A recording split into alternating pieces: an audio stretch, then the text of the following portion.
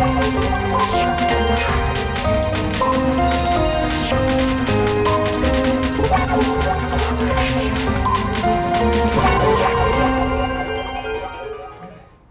Olá, boa noite. Começa agora mais uma edição do Repórter NBR.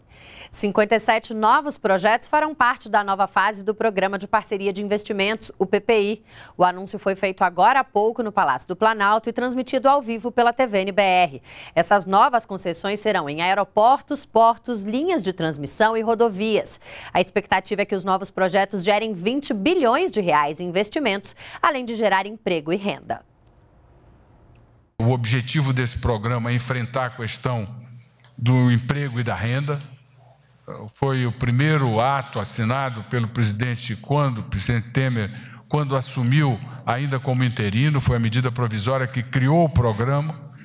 E esse programa já naquele momento se colocava como uma ferramenta de ação de política pública para enfrentar a questão eh, do emprego e renda e, consequentemente, restabelecer é, é, condições para que a herança que estávamos recebendo, que o governo recebia, à época de mais de 12 milhões de desempregados, e com projeção de chegar ao final do ano passado com 14 milhões. E então, é, de fato, era evidente que, do ponto de vista econômico, social, nós deveríamos ter políticas que enfrentassem esse desafio. Nessa nova fase do PPI, 14 aeroportos vão ser concedidos. O destaque vai para o terminal de Congonhas, que deverá receber investimentos de quase 2 bilhões de reais. O objetivo é tornar o setor mais competitivo e sustentável. O que nós queremos, claro, é um sistema é, é aeroportuário que tenha investimento, esteja apto a, a enfrentar o crescimento que o setor é, é, vai experimentar, né? nós não temos a menor dúvida disso, né? e o sistema sustentável. E que o, o, o operador, tanto público como o privado, possam né? é, é, é ocupar esse espaço né? de forma harmônica, né? dentro de uma concorrência saudável. Uma equipe técnica do Ministério do Desenvolvimento Social da Argentina está no Brasil para conhecer as ações do programa Criança Feliz. O ministro do Desenvolvimento Social brasileiro, Osmar Terra, recebeu a comitiva argentina nesta quarta-feira e apresentou as ações desenvolvidas nos 146 municípios que já fazem parte do Criança Feliz e recebem visitas domiciliares de equipes do programa. O Criança Feliz faz um acompanhamento das famílias inscritas no Bolsa Família que possuem bebês ou crianças de até 3 anos de idade.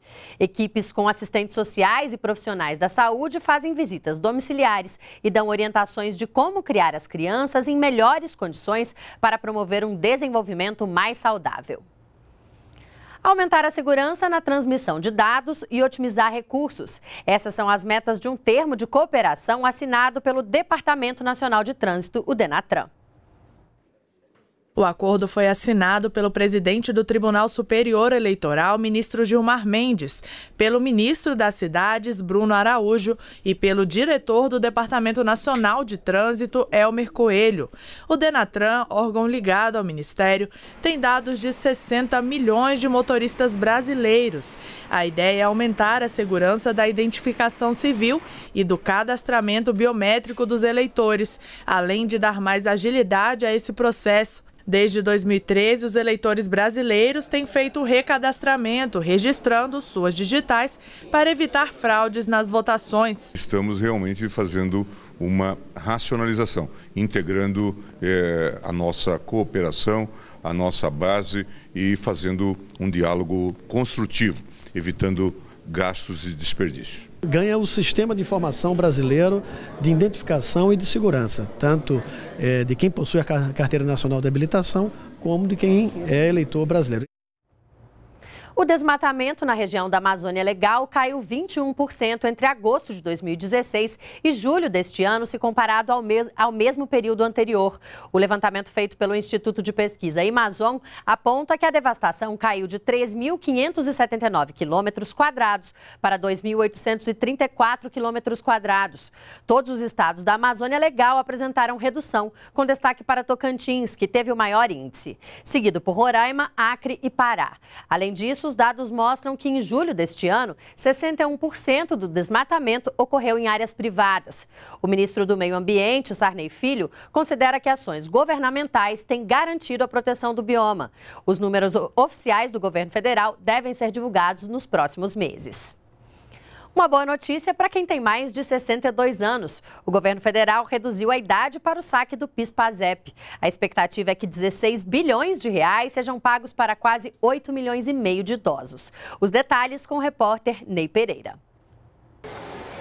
Quem trabalhou com carteira assinada até 4 de outubro de 1988 pode não saber que tem direito ao saque dos recursos do PIS/PASEP contribuição das empresas que hoje vai para financiar ações de desenvolvimento econômico e pagamento do seguro-desemprego. Se tiver, vai ser ótimo, maravilhoso, que aí eu posso sacar esse dinheiro. Se eu achar que tem direito, eu vou procurar. O que tiver é bem-vindo. Ah, lógico, claro que sim, é bem-vindo. A liberação do dinheiro será feita por meio de medida provisória. Para facilitar a retirada do recurso, a idade mínima foi reduzida de 70 para 65 anos para os homens. No caso das mulheres, a idade para o saque também era de 70 anos e passou para 62. O calendário de liberação deve começar em outubro. E o governo vai facilitar o saque dos recursos do fundo PIS/PASEP. A medida vai beneficiar quase 8 milhões de pessoas vamos liberar 16 bilhões de reais para 8 milhões de pessoas né, que estão nessa condição acima de 65 anos e 62 homens e mulheres. A maioria dos cotistas tem um saldo de em torno de 750 reais, ou seja, são valores que vão para pessoas realmente necessitadas que precisam desse dinheiro até para manter eh, as suas despesas mais básicas. A partir de outubro, aqueles, aquelas mulheres com 62 e o homem com 65 poderá ir ao estabelecimento bancário para sacar os seus valores. E convenhamos, não é pouco, não é?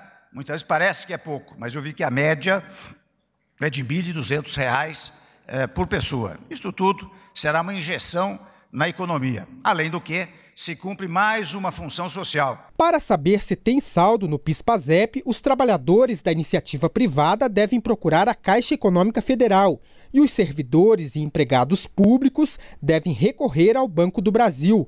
No caso dos cotistas já falecidos, os herdeiros terão direito aos recursos do PIS/PASEP em junho de 2016, o saldo médio por cotista era de pouco mais de mil reais.